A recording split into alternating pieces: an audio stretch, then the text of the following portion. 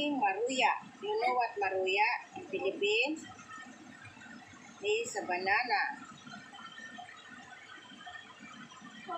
Can you close the door?